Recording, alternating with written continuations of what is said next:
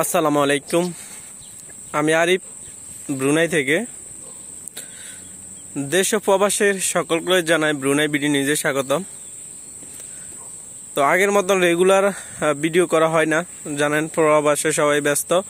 Personal অনেক business আছে আমার, এখানে জবও করি। এই জন্য অনেকের এস এম এস এর রিপ্লাই দিতে পারি না। তো আজকে ভাবলাম যারা কমেন্ট করছেন, আপনাদের কমেন্টের অ্যান্সারগুলো দিয়ে দিব এই ভিডিওর মাধ্যমে। সবারই পার্সোনাল আমার বলা সম্ভব না।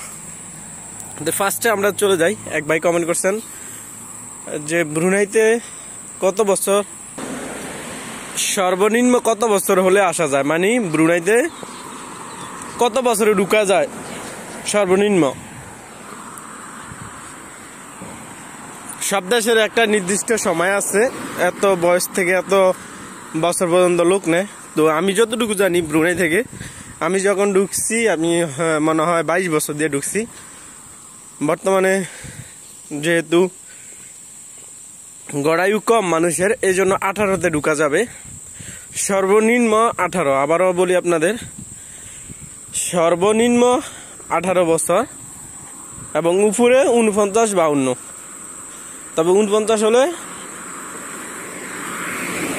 ভালো হয় বাউন্ন অনেক সময় অ্যাকসেপ্ট করে না তারা। আর অন্য অন্য বয়সে যারা আছে, তারা ট্যুরিস্ট বা ফ্যামিলি বিষয়ে আসতে হবে। যদি ব্রুনাই দেখার ইচ্ছা থাকে। তো আশা করি এই বিষয়টা আপনারা বুঝতে পারছেন। আর অনেক ভাই আমাকে অনেক প্রশ্ন করেন যে, ভাই, বর্তমানে ব্রুনাইতে বেতন কত? এই কাজের বেতন কত? দেখেন, আমি কিন্তু আগে অনেক ভিডিও করছি, আপনারা হয়তো দেখেন না। যে ব্রুনাইতে কোন কাজে কত বেতন? আবারও বলি, সব দেশের একটা আইন কানুন আছে লো আছে। মালয়েশিয়া হচ্ছে বর্তমানে বেসিক আপনারা সবাই জানেন ইন্টারনেট যুগ পনেরোশো রিঙ্গিত ব্রুনাই সেম একটা বেসিক আছে কোম্পানি ব্রুনাইতে যারা নতুন আসতেছেন, আমি ইনফরমেশনটা আব- আবারও বলি। ব্রুনাইতে যারা নতুন আসতেছেন, ব্রুনাইয়ের বেসিক হচ্ছে বর্তমানে বিশ ডলার একটা লেবারের একটা লেবারের বেসিক হচ্ছে বর্তমানে বিশ ডলার ব্রুনাই ডলার আর যারা মেশন ইলেকট্রিশিয়ান মেস্তুরি যেটা বলি, খাস বাংলা যে কোনো কাজ জানালো, তাদের বিশ থেকে উপরে কারোর আপনার পঁচিশ ডলার হয়, এটা কোম্পানি বুঝে। কোম্পানি যদি একটু ভিআইপি হয়, ভালো হয়, কারও তিরিশ ডলারও হয়, আবার কাজের উপর নির্ভরশীল, সে যদি ভালো কাজ জানে, যেমন ভিআইপি কদুলা কাজের কথা আমি আগে বলছিলাম যে ব্রুনাইতে মাসে পঞ্চাশ থেকে এক লাখ টাকা কামানো যায়। যেমন আপনার কপিলকো ড্রাইভার বেকু ড্রাইভার যারা বাংলাদেশে আছে বেকু ড্রাইভার।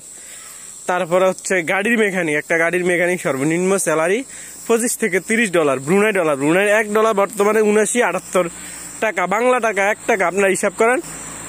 কত আসে?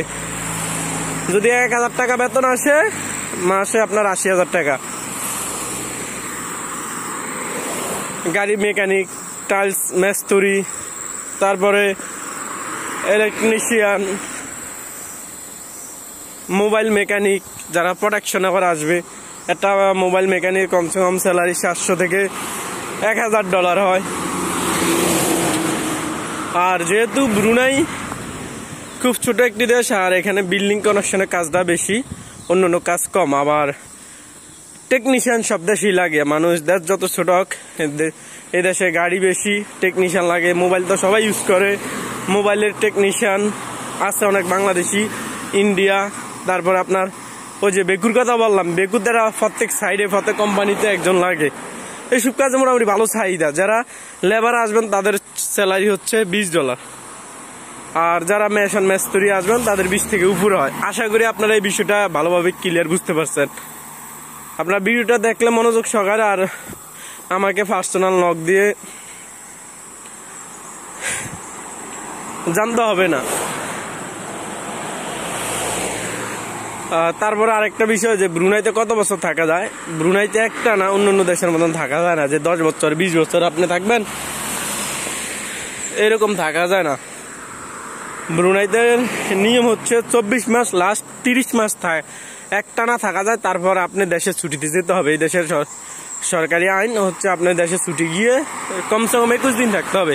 পরে আপনি যদি এই দেশে আবার রিটার্ন আসেন ছুটিতে, একবারে না, ছুটিতে গিয়ে এসে এই দেশে আসলে তারপর আপনার পুনরায় দুই বছরে বিশা লাগবে। লং বিশা লাগবে।